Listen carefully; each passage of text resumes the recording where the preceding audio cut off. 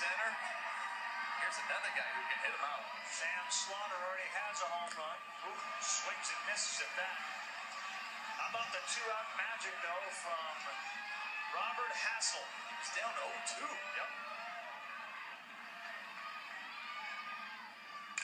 This ball driven to left field. It's gone! Second home run of the night. Back-to-back shots for Nashville give them a two-run cushion.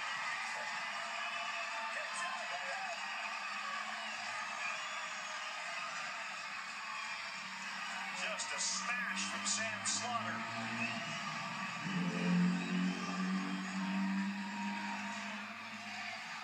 Well, this is what uh, we've become accustomed to seeing from Tennessee. You see right there, Sam Slaughter going to celebrate with his coach. Loses his footing right there. But this is a quick strike team. The big guys in the middle of the lineup have stepped up in this sixth inning. Okay? They just hit the ball hard. There's nothing you can do about that. Okay? I'm proud of you.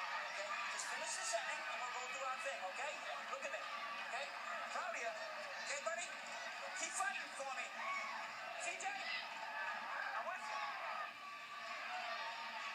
Words of inspiration, great stuff there. Check out Nashville's hitting tonight.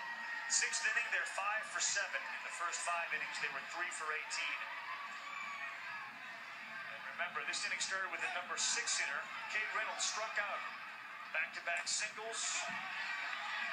And then the number nine hitter went down. There were two outs, a double, and two home runs later. It's 7-5 Tennessee.